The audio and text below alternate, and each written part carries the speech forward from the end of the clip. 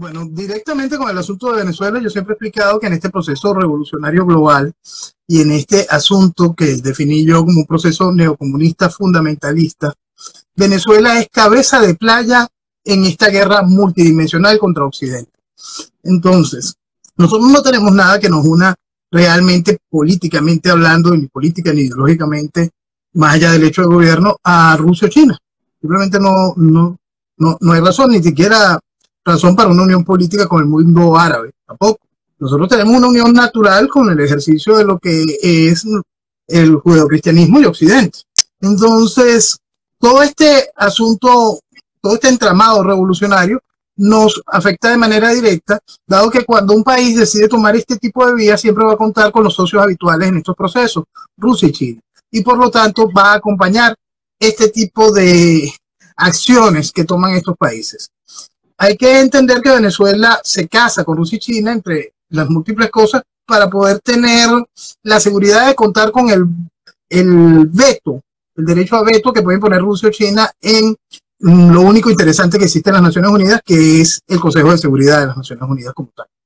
Entonces, siendo cabeza de playa en esta guerra multidimensional contra Occidente, tenemos muchísimo, muchísimo que perder y en distintos sentidos.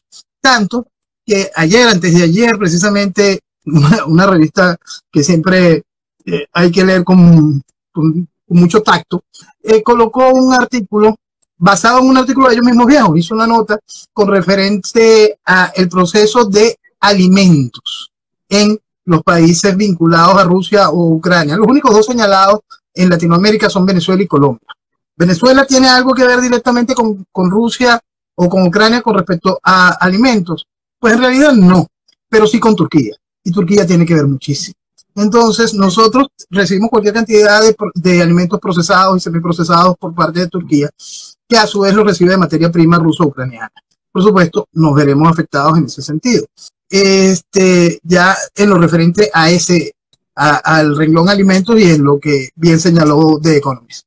Este, el hecho político es aún más resaltante. Tenemos que recordar las palabras del vicecanciller ruso, donde coloca que por qué no llevar la guerra allá, a América, teniendo en cuenta de que ellos pudiesen colocar bases en Cuba, Nicaragua y Venezuela.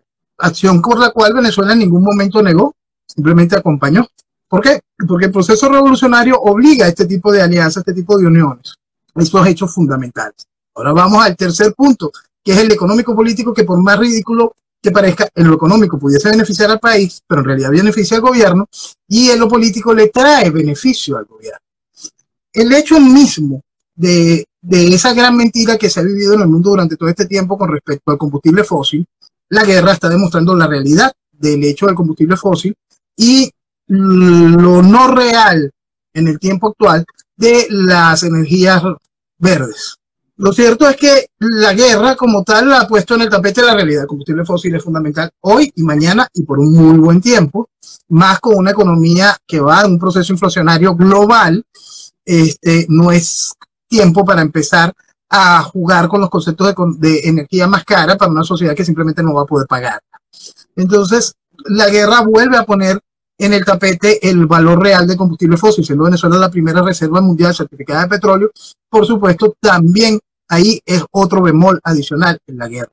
Y ahora vamos al global, al más grande. El hecho de la guerra en sí, este, esta guerra de Ucrania, mm, yo hice un experimento el año pasado. El año pasado yo puse un tweet y en el tweet explicaba, preguntaba si las casas de apuestas de Londres ya habían abierto una apuesta sobre qué, quién invadía primero si Rusia a Ucrania o China a Taiwán. Para mí es un hecho sencillo que China vaya a invadir Taiwán. Es una cosa que para mí es absolutamente lógica. China para poder celebrar los 100 años del Partido Comunista en ejercicio no lo va a hacer con, con la idea de eh, esta eh, Taiwán me pertenece pero no es mía, ¿no? Taiwán le pertenece y es mía. Entonces, ¿cómo va a tomar Taiwán? Ah, puede ser a través de un acuerdo político, puede ser a través de un proceso de invasión, pero la guerra de Ucrania le dio a China nociones claras sobre el proceso político de reacción occidental, el proceso militar de reacción de Occidente con respecto a sus aliados y cómo los aliados están tan increíblemente podridos.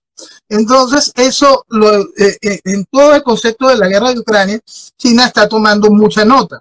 Y eso vuelve, por supuesto, a afectarnos, teniendo a China como el otro socio, el otro propietario de lo que va quedando de Venezuela.